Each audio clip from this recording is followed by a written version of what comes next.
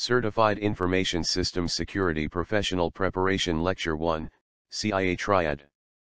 Confidentiality, integrity, and availability, also known as the CIA Triad, is a model designed to guide policies for information security within an organization. The elements of the triad are considered the three most crucial components of security. Confidentiality When we talk about confidentiality of information, we are talking about protecting the information from disclosure to unauthorized parties. Information has value, especially in today's world. Bank account statements, personal information, credit card numbers, trade secrets, government documents. Everyone has information they wish to keep a secret. Protecting such information is a very major part of information security. A very key component of protecting information confidentiality would be encryption.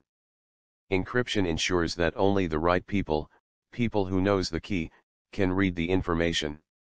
Encryption is very widespread in today's environment and can be found in almost every major protocol in use. A very prom prominent example will be SSL/TLS, a security protocol for communications over the Internet that has been used in conjunction with a large number of Internet protocols to ensure security. Other ways to ensure information confidentiality include enforcing file permissions and access control lists to restrict access to sensitive information. Integrity Integrity of information refers to protecting information from being modified by unauthorized parties. Information only has value if it is correct. Information that has been tampered with could prove costly. For example, if you were sending an online money transfer for $100, but the information was tampered in such a way that you actually sent $10,000, it could prove to be very costly for you. Cryptography plays a very major role in ensuring data integrity. Hashing the data you receive and comparing it with the hash of the original message. However, this means that the hash of the original data must be provided to you in a secure fashion. Availability Availability of information refers to ensuring that authorized parties are able to access the information when needed.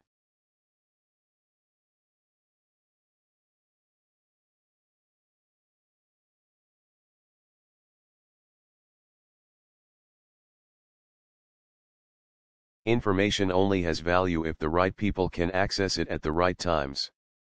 Denying access to information has become a very common attack nowadays. Almost every week you can find news about high-profile websites being taken down by DDoS attacks. The primary aim of DDoS attacks is to deny users of the, of the website access to the resources of the website. Such downtime can be very costly. Other factors that could lead to lack of availability to important information may include accidents such as power outages or natural disasters such as floods. Regularly doing off-site backups can limit the damage caused by damage to hard drives or natural disasters. For information services that is highly critical, redundancy might be appropriate. Having a off-site location ready to restore services in case anything happens to your primary data centers will heavily reduce the down downtime in case of anything happens. A balanced security approach should be implemented to ensure that all three facets are considered when security controls are implemented. When implementing any control, you should identify the facet that the control addresses.